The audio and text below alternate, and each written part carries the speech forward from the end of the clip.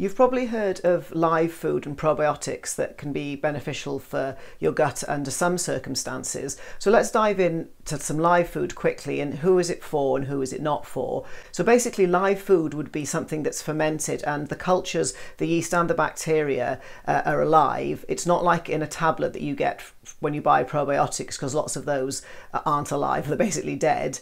And what it can do is it can help repopulate your gut. Say if you'd have had a bout of antibiotics. And first of all, people who've got leaky gut shouldn't be taking probiotics or live food because it can just be too aggravating and you need to heal the leaky gut first. The other people who'll have a problem with live food would be those who've got histamine intolerances, and there can be different reasons. There can be different SNPs or SNPs, that's genetics, and the most common one is a slow DAO enzyme, so it means you're not very good at breaking down histamines in the gut.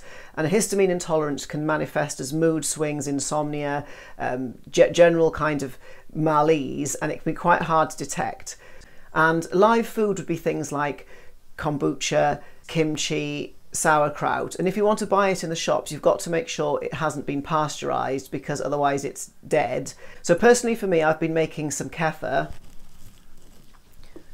So kefir is fermented uh, milk and I get a culture from a proper place and then I make it over and over again. So when this is finished, I just put more back in here more milk uh, I use goat's milk and then let it ferment again and I just do that over and over. So it's actually really easy to make live food at home. It just depends what you want to make. So thanks for watching and feel free to comment